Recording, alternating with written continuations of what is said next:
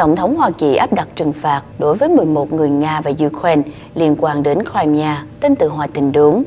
Tổng thống Hoa Kỳ ông Barack Obama hôm nay đã áp đặt các trừng phạt đối với 11 quan chức Nga và Ukraine bị cáo buộc đã gây ra sự xâm nhập của quân đội Nga vào Crimea, bao gồm hai trợ lý hàng đầu của Tổng thống Nga ông Vladimir Putin.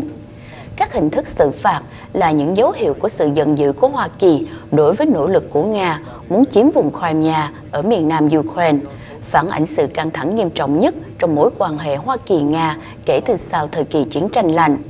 Các biện pháp trừng phạt của Hoa Kỳ đã được Tổng thống Obama ký ban hành trong một sắc lệnh một ngày sau khi một cuộc trưng cầu dân Ý ở Crimea được tổ chức nhằm cho phép Nga thôn tính khu vực tự trị này. Hoa Thịnh Đốn tuyên bố cuộc bỏ phiếu này là bất hợp pháp và sẽ không bao giờ công nhận kết quả.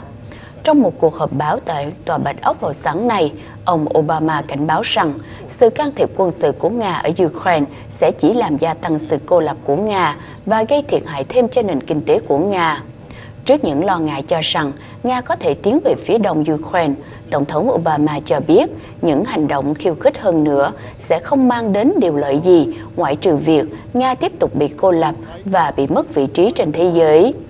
Sắc lệnh của ông Obama đã phong tỏa tài sản tại Hoa Kỳ và lệnh cấm đi du lịch vào Hoa Kỳ của bảy quan chức cao cấp trong chính phủ của Nga và bốn cá nhân được xác định là các nhà lãnh đạo ly khai Crimea.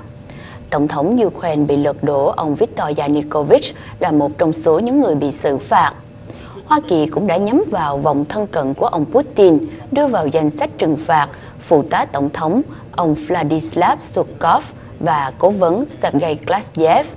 Phó Thủ tướng Nga ông Dmitry Rogozin và hai dân biểu Leonid Slutsky và bà Yelena Mizulina cũng đã bị nhắm mục tiêu.